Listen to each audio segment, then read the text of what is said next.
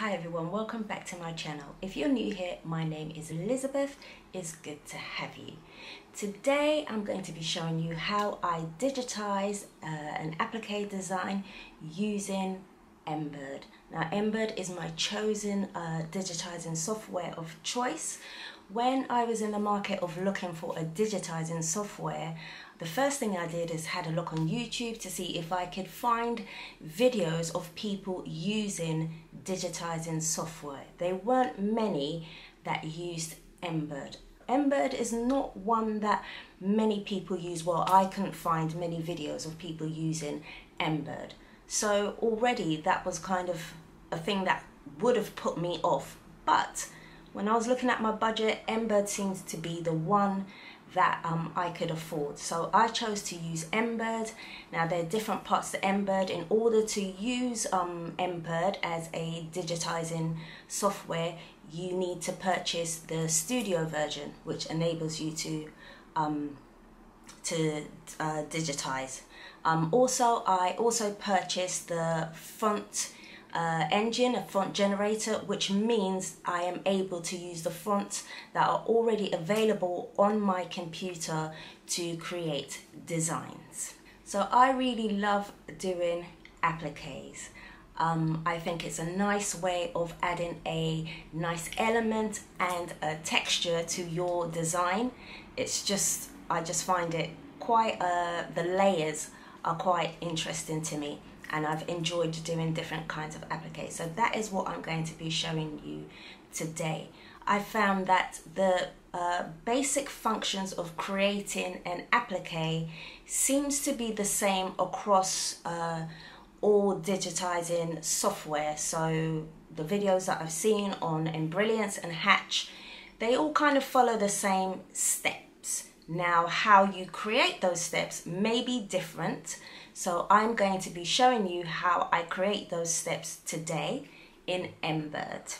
I am not yet a master at Embird, but with everything, the more you use it, the more you practice, the better you get. So I'm getting better at using Embird and I'm going to show you how to do that today, how to create a nice, uh, simple, uh, simple design in just four easy steps. So if you'd like to see how I do that, stay tuned.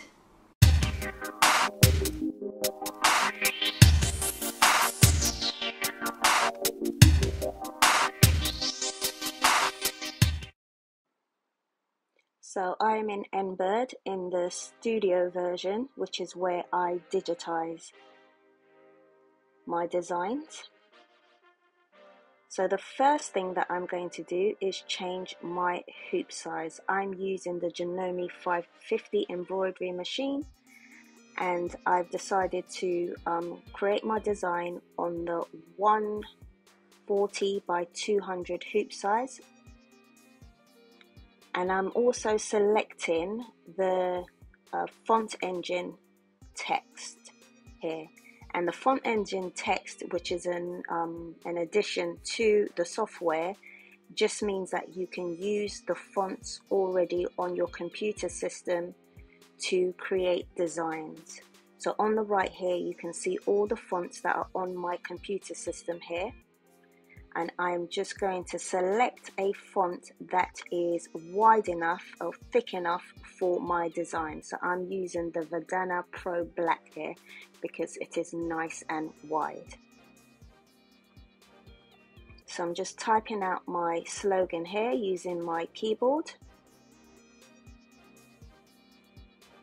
And then checking the tick mark. And we can see here that it's come up quite small so I need to resize it so what you can do is you can either um, click on one of those little black squares that are around your um, stitch out your your word and drag it out or you can go into the transform window and change the dimensions.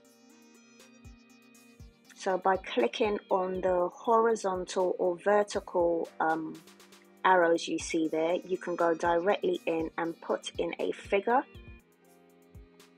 and that will change the size. Or you can just click on the, uh, the red uh, numbers that you see there and either click your left mouse or right mouse to increase or decrease. But I like to um, put in a figure, so I click on those horizontal or vertical arrows and then put in an exact figure that I want. So here you can see I'm putting 59 and that's uh, 59 millimeters and then I'm clicking apply and that has changed my um, height of my words here. So I'm just dragging that down into place. Now this is a fill stitch. So what I've typed out here will be a fill stitch and that is not what I want. I want to convert it into an outline. So you go into convert, create outline from fill, and there on the right you can see that it's created the outline which is highlighted there in blue. I'm going to now drag a color over it just so I can tell the difference of the fill and the outline. So we can see the green here is the outline and the blue is the fill stitch, which I do not need. So I'm going to right click and then delete that.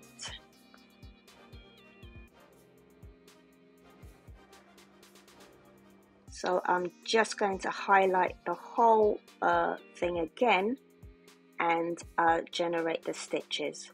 What I want to do now is I want to have um, copy that.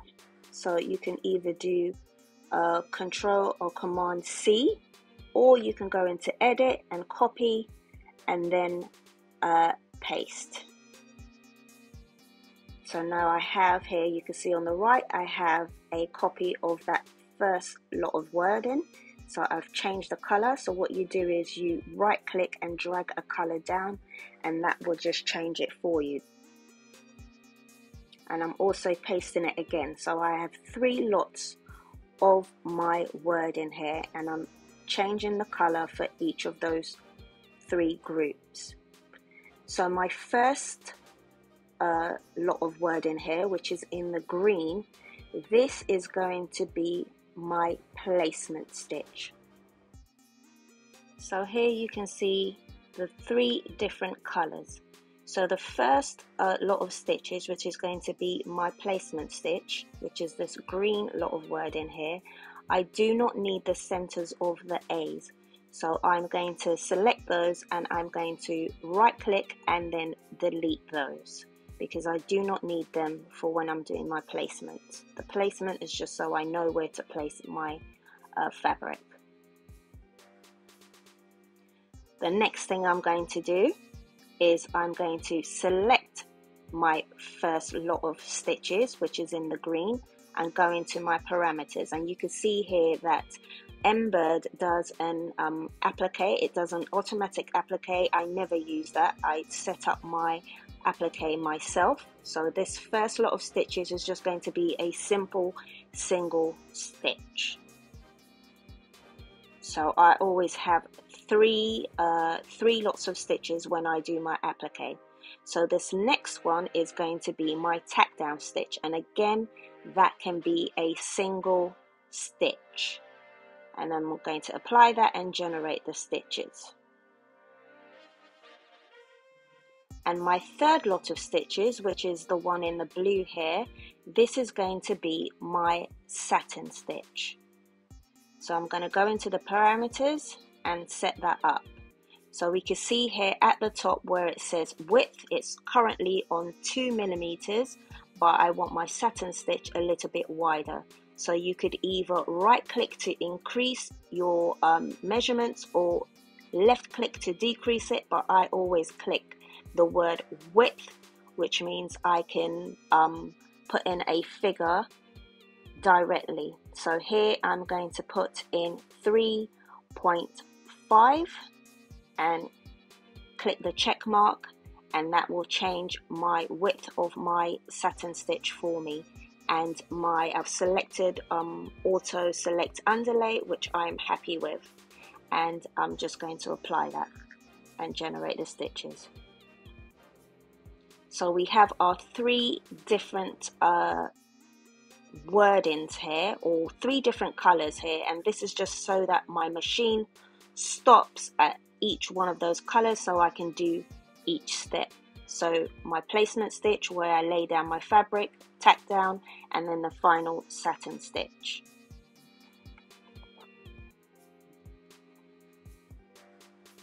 So here I've gone into the sew simulator here just to see how this is going to stitch out. It's always a good idea to have a look at your sew simulator before you actually send this off to your machine. So here you can see my uh, placement stitch, which is the green one without the middles of the A's and now it's doing the tack down stitch which has the middles of the A because you need to be able to cut um, around the fabric and in those uh, center pieces as well. And then the next thing is the satin stitch. So this is going to be the final finishing stitch here, which is in the blue.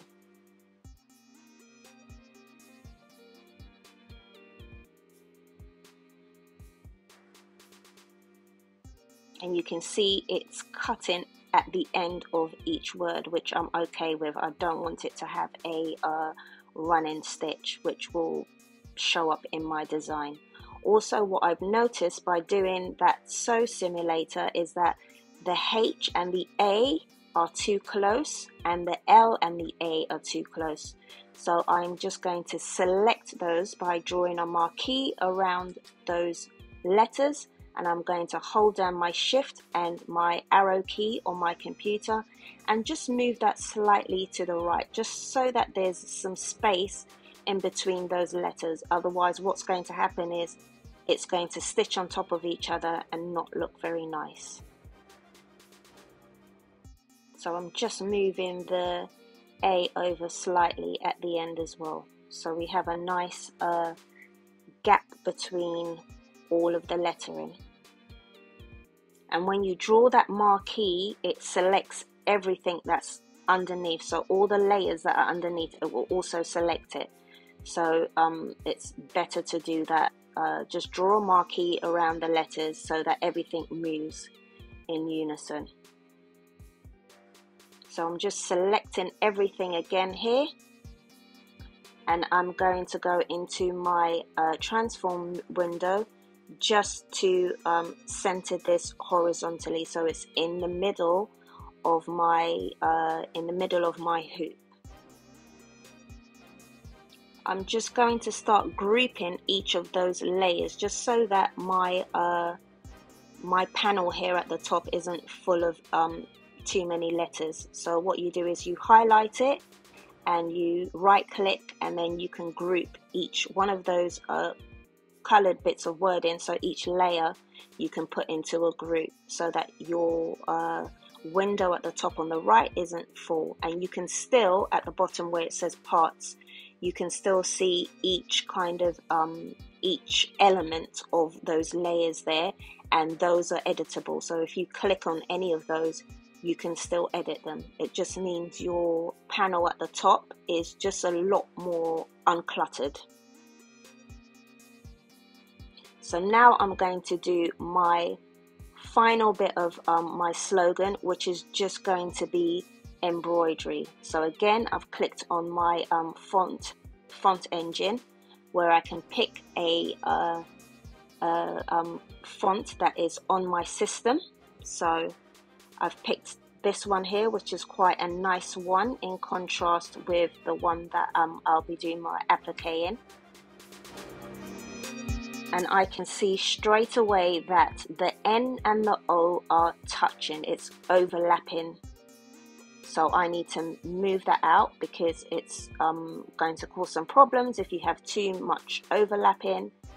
And uh, you could break a needle when this happens. So I've just selected that O, I've drawn a marquee around it and I've used my shift and arrow key just to move that O out a bit and you can see a tiny little line at the top where the N and the O are connecting. That's okay, that just means it will just stitch out in one go and um, which is nice for your machine as well.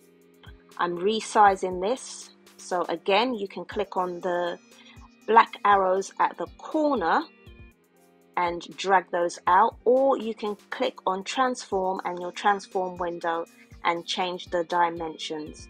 And you can see I've unclicked the um, aspect ratio so that I can um, resize this. So again you can click on the horizontal or vertical arrows to um, change this and put in a figure or you can um, right click on the red numbers to uh, increase and decrease. So I've clicked apply and I am happy with that size. So I've changed the color of the um, the word no. And again what you do is you just drag a color over the selected um, objects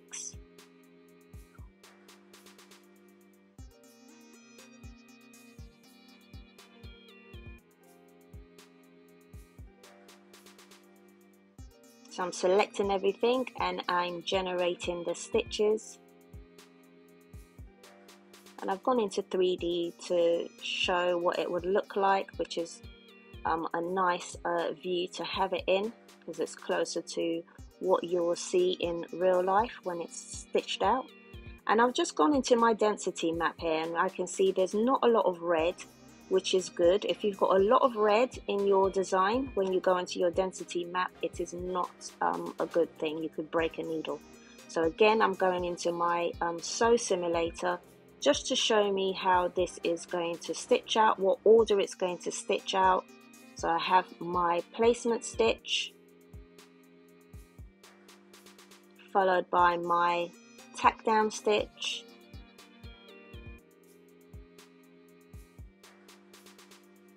and finally my satin stitch and I can see all my wordings have a nice gap between them and I'm happy with that.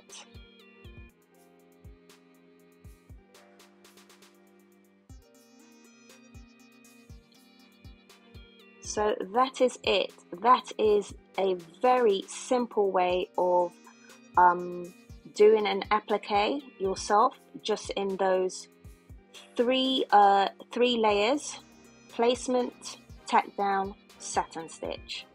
It's really really straightforward, um, and I love doing an applique because it just adds an extra dimension to your design. So the next thing I do is I want to show you how I um, save this and convert it to the file that my um, machine will recognize. So I'm always going to save this as a um, editable version. So I'm just going to go straight into uh, design save as just in case I want to ever edit this in any way or add anything else. It's always good to save it as an editable um, version. So I'm just saving it in, in the studio version. And then I'm going to go up here to that um, icon that looks like an M with a little green blob on it. This is where you can uh, get your file set up for the version of your machine. so always uh, skip this part it's always going to come up with this part just skip it and you can see now because I'm using the Janome that that is selected on the left. And also I am going to uh, select center and hoop just makes my life easier. So depending on what machine you use you're going to select your version here so that your machine will recognize the file when you put your USB in. So I normally save this on a USB that I use in my computer and then what I do is I have my other USB that's in my machine and I just copy and paste that file over to the USB for my machine. So if you found this video useful or interesting, please like and subscribe if you haven't yet done so and click that bell so you are notified when I upload a new video. Typically I upload on a Sunday. So my next video is actually going to be me doing the stitch out of the digitizing that you have just seen. And as always guys, don't have a good day, have an amazing day. Till next time, bye!